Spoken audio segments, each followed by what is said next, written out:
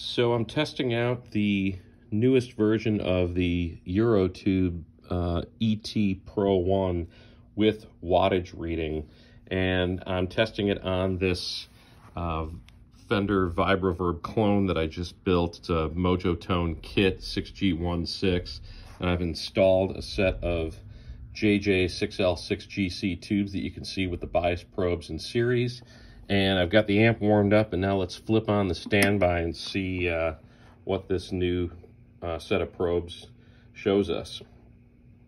So this one is uh, the version that now gives you not just plate voltage and plate current, but will also flash, it looks like up here at the plate voltage setting, it'll flash over to watt dissipation, so you don't have to do the math, which is kind of cool because I don't like doing math. So it looks like we've got around 455, 456 on the plates.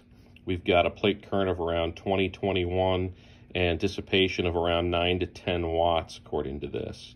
And so I'll have to uh, play around with bias adjustment a little bit, but it looks like these new probes are working nicely and really simple, no batteries, no nothing. They seem to be high quality.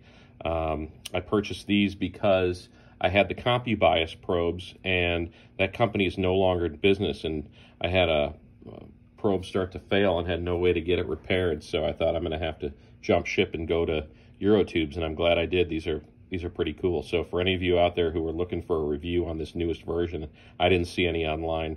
Here's one for you. Good luck.